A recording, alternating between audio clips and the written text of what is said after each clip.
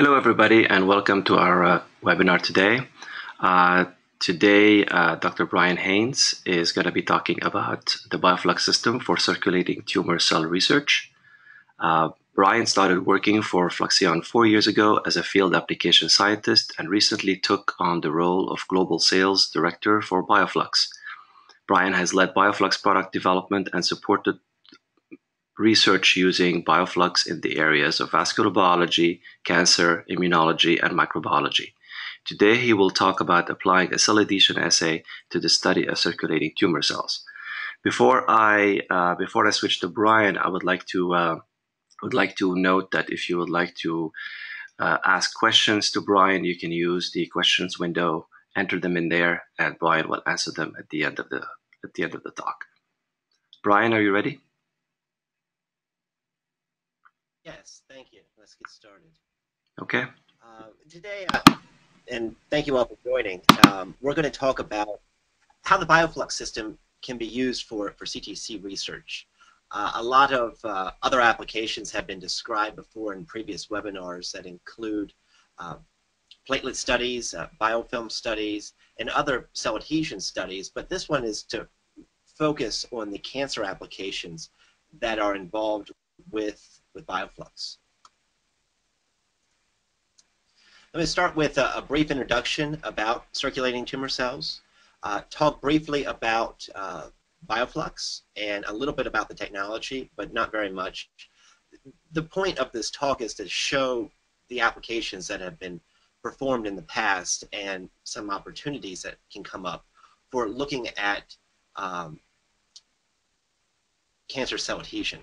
And so there's three different areas I'm going to talk about. One is the role of uh, monocytes mediating uh, cell adhesion, um, the role of E-selectin in cancer cell adhesion, and then briefly talk about a paper that described shape and uh, the role of shape in particle sizes and particle adhesion for adhering to either endothelial cells or breast cancer cells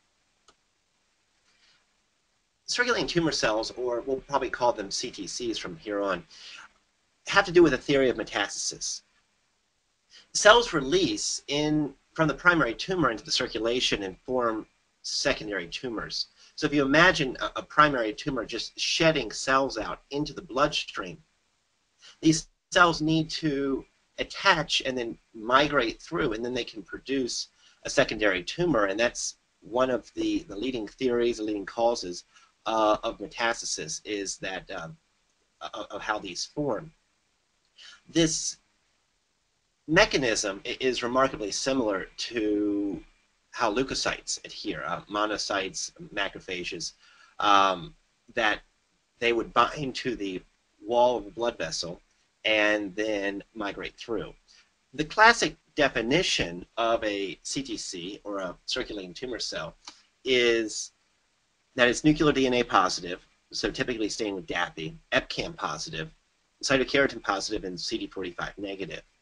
For diagnostic purposes, that definition of a CTC has been shown to be more predictive than classical biomarkers like PSI, PSA for determining outcome. Usually that's in the more chronic stages. Reason that people use bioflux to study CTCs has more to do with the CTC adhesion theory that CTCs need to adhere in order to cause metastasis. And so we're, we're looking for the cells that essentially make the journey. Um, those, those are the important ones. Whether or not a patient has a certain number of CTCs has been shown to be prognostic, but to show how that mechanism occurs and then to be able to block that mechanism allows for therapeutic opportunities. The, the first report, just a tiny bit of history, the first report on CTCs came out of Australia in 1869. And it was a really interesting paper because if you read how it was described, it sounds very similar to, to what we know today. But it was a case of cancer in which cells, similar to the ones in the tumors, were seen in the blood. Um, this was done after death. The patient died clearly of, of, uh, of cancer, and they took blood from the saphenous vein, and they showed that they could find tumor cells on the right panel here, cells that looked just like the cells that were in the tumor. And so that was the first description of CTCs, and since then, we've gone on to show that there are um, diagnostic and, and prognostic types of applications for this to show how cancer progression is happening. The, the main theory that we're looking at here is that you have a, a primary tumor that will shed these cells. Now, people have described CTCs as cancer stem cells in the past, and that definition sort of goes back and forth, but the concept of a stem cell having all the things required in order to form that next tumor, um, sort of the definition can go back and forth. What we're looking at with the bioflux is this mechanism of after the cells are, are shed into the bloodstream, that they would adhere and then migrate through in order to form this secondary tumor. And so this adhesion and migration process is, is what's essential in order to push metastasis forward. So in, briefly, in talking about mechanisms of cell adhesion, I, I show this to uh, people like my parents who, who need a little bit of more of a basic understanding. So if you imagine that this plate is your experimental surface, whether it's a glass cover slip or a, the plate, and this kimchi is are the endothelial cells. This is the the monolayer that's built up in the blood vessel, and when you see the tofu binding, the tofu represents either a, a, lymphocyte or a circulating tumor cell or a stem cell that would adhere to the blood vessel.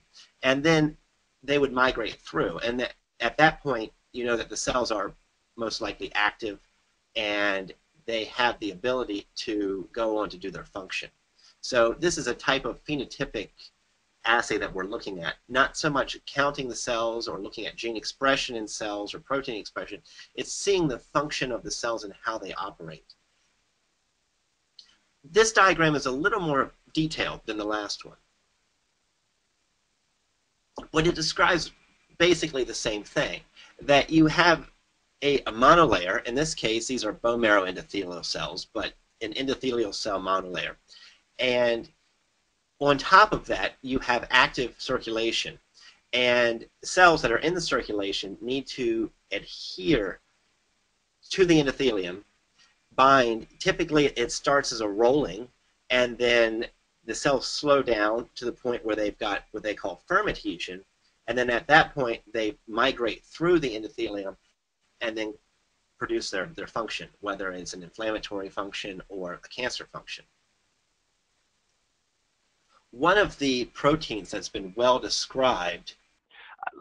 Let me repeat this mechanism of cell adhesion that you have a monolayer of either vascular endothelial cells or, in this case, bone marrow endothelial cells. And on the other side of this is an active perfusion, uh, some sort of microvessel that is allowing the blood from flow from, from one direction to the other cells need to tether and adhere, and then what they have what they call firm adhesion and then transmigration. So initially, as the perfusion goes through, the cells typically can't grab on and, and adhere immediately. They grab on and they roll in a certain way, and then after that, they're able to bind on firmly and then migrate through once the cells have migrated through, then they're able to produce their secondary function, such as um, in the case of inflammatory cells, to perhaps clear an infection, or in the case of cancer cells, to produce a secondary tumor. Not a desirable function, but it's, it's a function of what these cells are doing.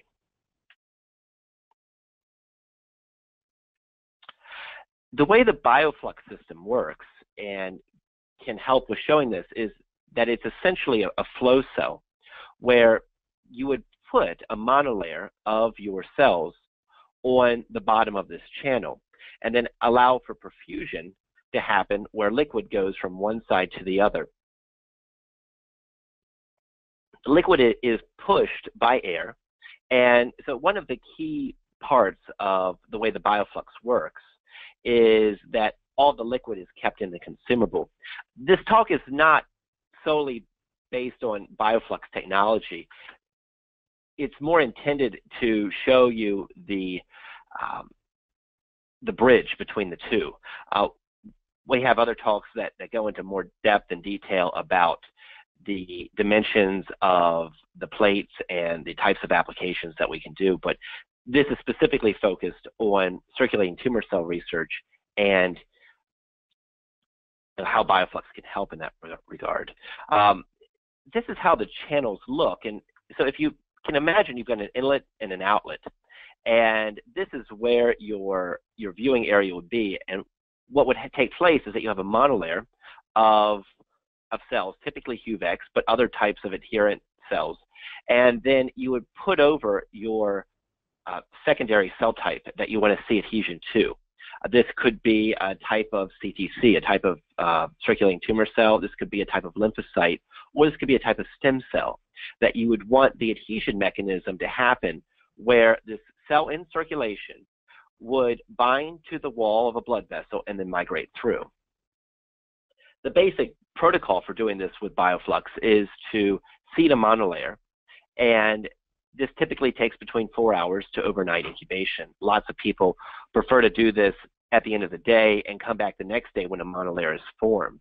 Some people like to wait three or four days in order for different gap junctions and, and cells to proliferate. I personally prefer to, to do this in a shorter period of time, but that's all based on the model of what you're looking for.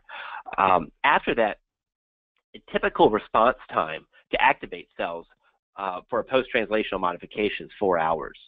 Usually people will activate them with TNF-alpha. That's a classic response. LPS is also used or environmental toxin stimulants.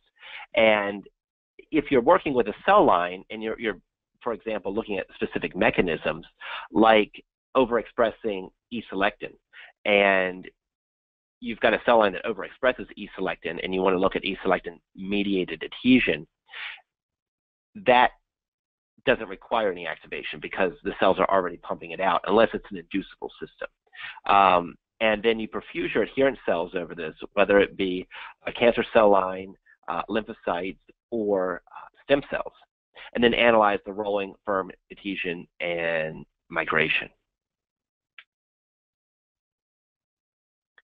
This is a video of a monolayer of HUVEC cells that was stimulated with TNF-alpha, and then HL60s, uh, which is a classic rolling inflammatory cell, are being perfused over. This is going at one dyne.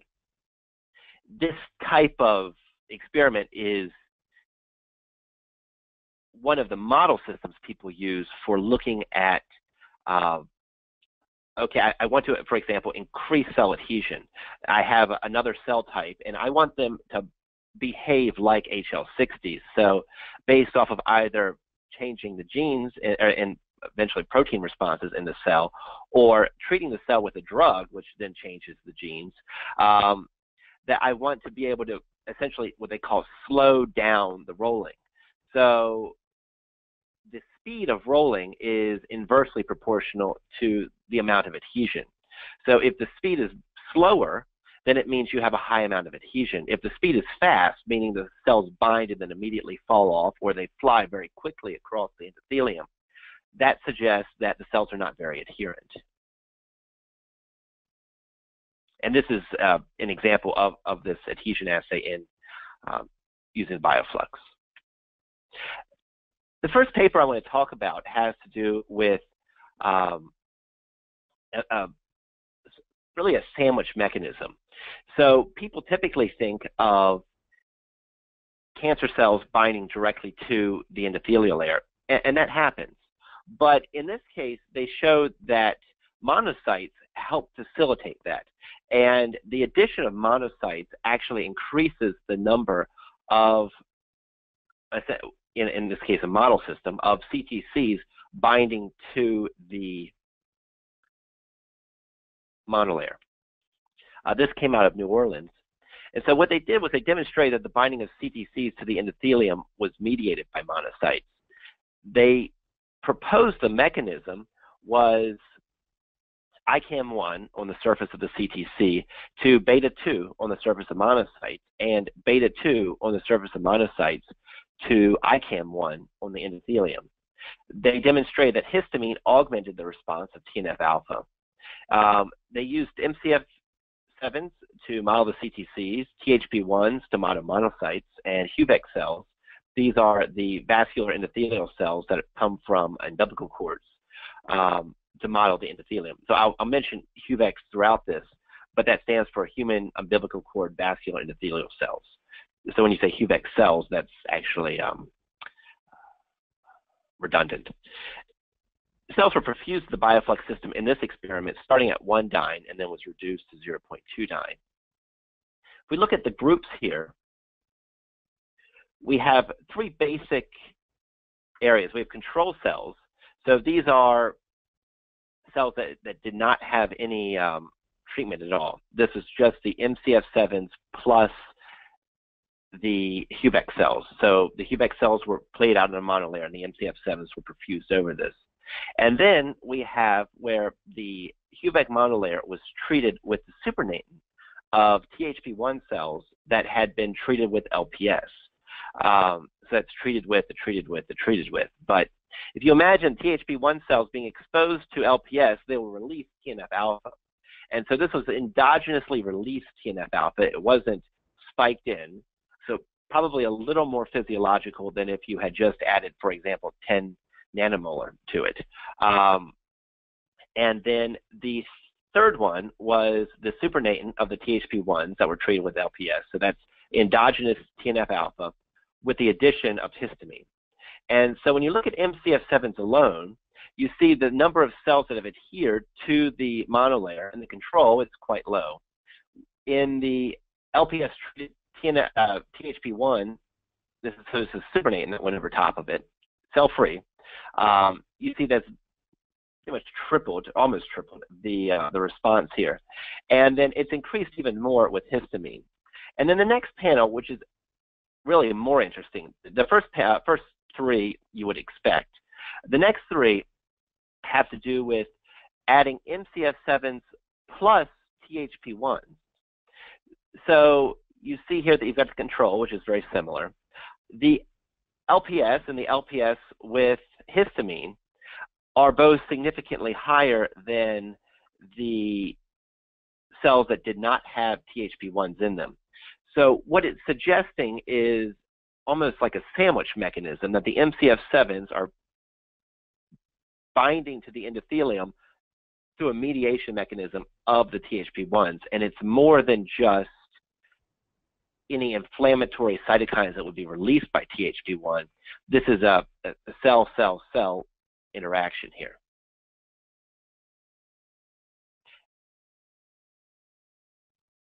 On the top panel, it shows the, the HUVEC cells as they're stained with uh, VE cadherin. And it shows up more of an activation here, but not much besides uh, qualitative data on the top panel. The bottom panel shows fluorescently labeled MCF7 cells, and then the other cells, and you can see them here in, in phase quite nicely on the right side, are THP1. So on the left side, it's just MCF7s binding to uh, onto the HUVEC monolayer. On the right panel, it's the MCF7s plus THP1s binding to the HUVEC monolayer. And so you see a lot of these THP1s that are circles, and then the fluorescently labeled ones are the MCF7s. And so the THP1s are, are helping to mediate this adhesion mechanism. The next paper came out of Cornell, and it was looking at the, the role of E-selectin under um, uh, for, for circulating tumor cell adhesion. And the, the primary output that they looked at was the rolling velocity of CTCs. So if rolling velocity increases, uh, cell adhesion essentially decreases when stimulated HUVECs are treated with an anti-E-selectin antibody. So an antibody that would bind up the E-selectin and would take that out of the equation. The MDA cells were used to model the CTCs, and HUVECs were used to model the endothelium. What's interesting in this paper is that they specifically point out that the bioflux was selected at this point because of its reduced sample volume and easier setup procedure compared with the parallel flow plate um, and allowed for more flexibility with working with rare cells like CTCs. This first one doesn't look at E-selectin, this first uh, figure, but it looks at uh, an antibody specific for prostate-specific membrane antigen. And so when they said that the cells were either UNL, which is unlabeled, so essentially control, versus labeled cells, they're looking at these MDA cells that were adhering to E-selectin that's bound to microtubules, so that the channels were coated with microtubules that were, were coated in E-selectin. And you see this at a range between 0.5 dyne to 8 dyne. And it's not until 3 dyne that they see a difference between the unlabeled and the labeled cells. the labeled cells having a lower rolling velocity, meaning that they had more adhesion. Um, and as you get up to 8 dyne, you see a more significant difference between the labeled and unlabeled, suggesting that this um, prostate-specific membrane antigen has some sort of function in mediating uh, cell adhesion. The second panel, or second figure here, is looking at uh, MDA cells that are rolling over HUVECs that were stimulated with IL-1 beta. So the different groups are HUVEC stimulated with IL-1 beta, that's stimulated here, stimulated with IL-1 beta and then neutralized or blocked essentially with anti-E-selectin, so that's STNEU, and then unstimulated cells. So these are cells that did not have any IL-1 beta stimulation and were just um, uh, producing endogenously expressing uh, proteins. So what you see in the three different panels here is that the stimulated cells that are not treated with anything, but just stimulated, have a very low rolling velocity in all of the dynes. They go from 0.5 to 4 dynes. And it, this increases a little bit, which would be expected as, as you increase the, um, the shear rate that the rolling would be faster, but not much. And then what you're looking at is that when they neutralized the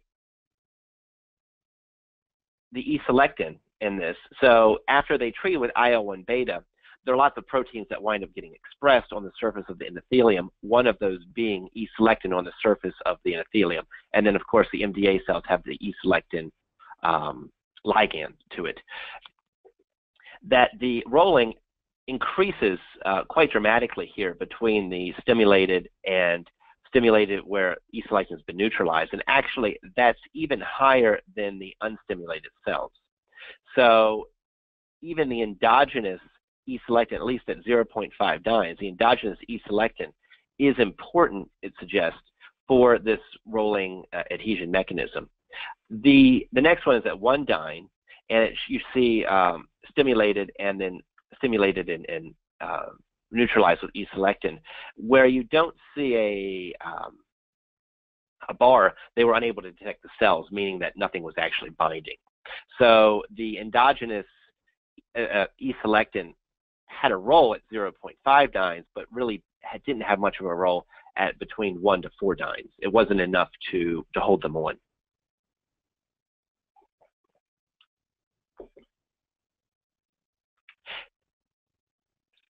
This data is a little more clear in a, a, second publication. This is actually a progress report. The work that was in the last paper was funded by the U.S. Army, which is interesting because you think of the U.S. Army as typically funding uh, work related to, to pathogens or, in our case, uh, blood clotting, because those are things that affect the soldier. But as the U.S. Army is responsible oftentimes for a soldier's care throughout the rest of their life, cancer is also uh, an essential mechanism that they, or a disease that they want to study and eventually treat. So you do see the Defense Department funding cancer research. This is a, a simpler view of the last figure where it shows the rolling velocity here on the left and they had labeled this E4 HUVEC, but that's not actually accurate. This is the dyne rate of 0.5 to 4 dyne. And on the IL-1 beta stimulated, you see how the rolling velocity increases just gradually um, as a result of um, the increased uh, sorry, give me a second here, uh, the increased shear rate. But with the IL-1 beta with the control, they're unable to detect it.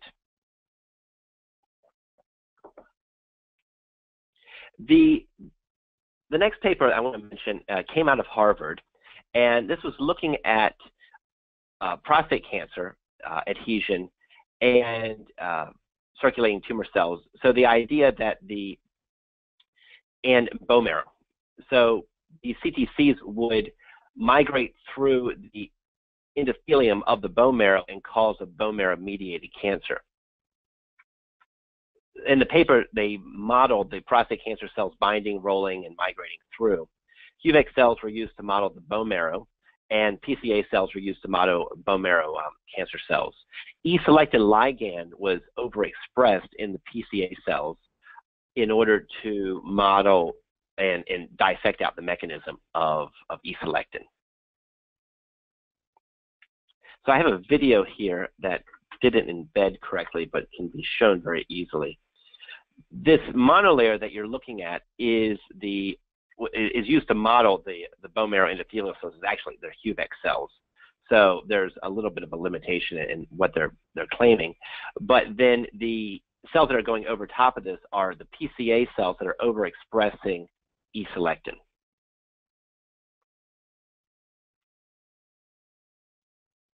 And here you see the cells binding to the monolayer.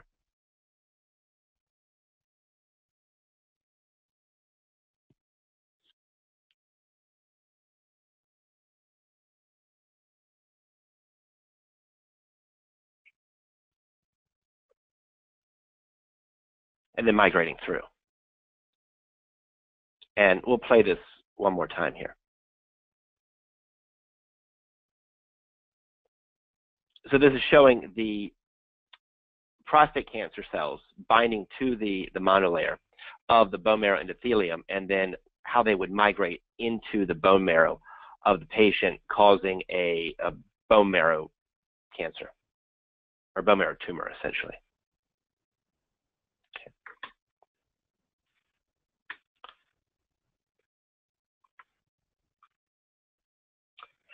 And so not only were they able to get that video, but they were able to quantitate out the data with that as well.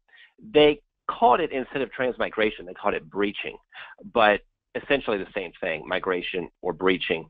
They showed that the, the cells basically completely migrate through after 250 minutes.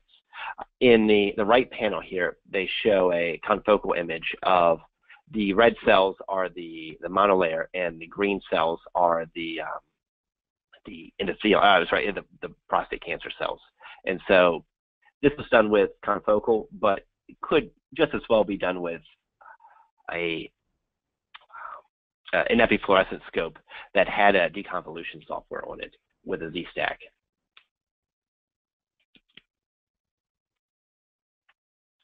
Uh, the last paper I want to talk about here has to do with the, the shape of, of particles and their adhesion onto uh, either breast cancer cells or onto endothelial cells.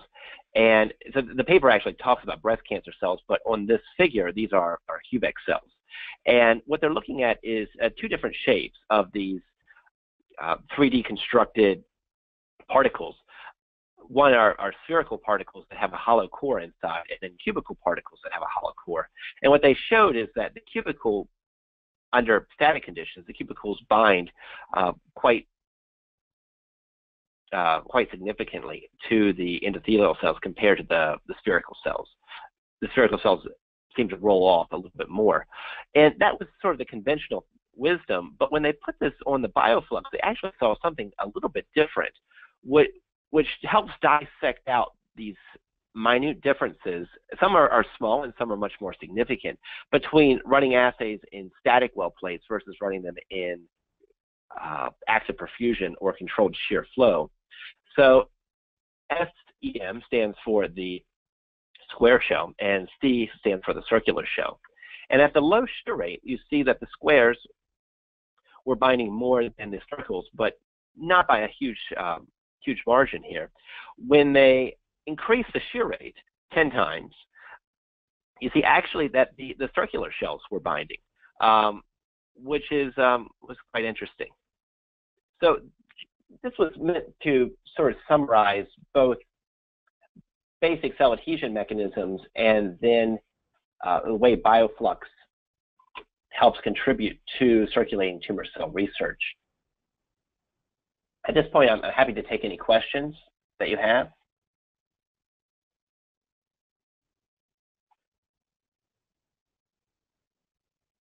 You're also welcome to email questions to us. Um, I'm out of the East Coast in Maryland. Uh, our office is in South San Francisco. And so we're able to, uh, to respond back typically within, um, within a few hours, whether you, you hit us in the morning or you hit us in the evening.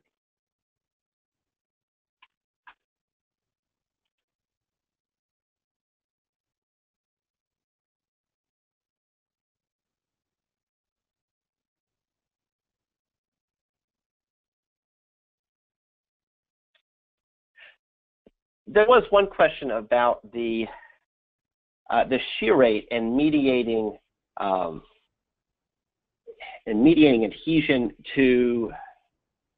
Let's get back to this one figure here from Cornell.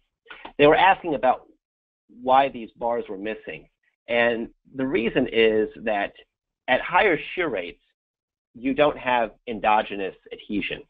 Um, so they asked, you know, why didn't they see three? You see three groups here. Why this one was missing? The reason that these bars were missing is that endogenous levels of adhesion oftentimes won't be enough to adhere beyond 0.5 dynes. And I have an example of that in a video here. So this was the control of the video I showed earlier where you have a monolayer of endothelial cells that were simply unstimulated, and the HL60s are not binding to that. If we were to reduce this down to 0.5 dynes or 0.25 dynes even, you would see some of this binding and adhesion just to the native site. But at one dyne, typically things will fly off if they're not um, not stimulated beyond their typical endogenous levels.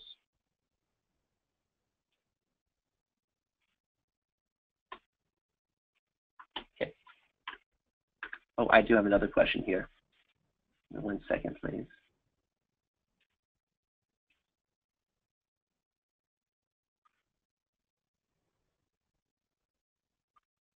So the question was, what instrument was used to study the tumor cell binding through the monocytes to the monolayer.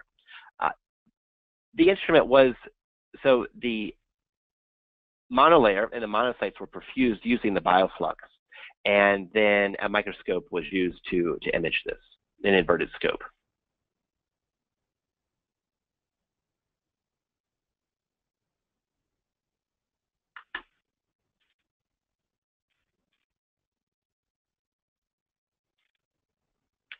Well, thank you all for um, for joining this webinar will be uh, put online uh, for future reference or if people were unable to attend due to um, other conflicts or, or time zone issues. Thank you, Brian. Thank you, thank you all for attending. Uh, goodbye. Thanks. Bye-bye.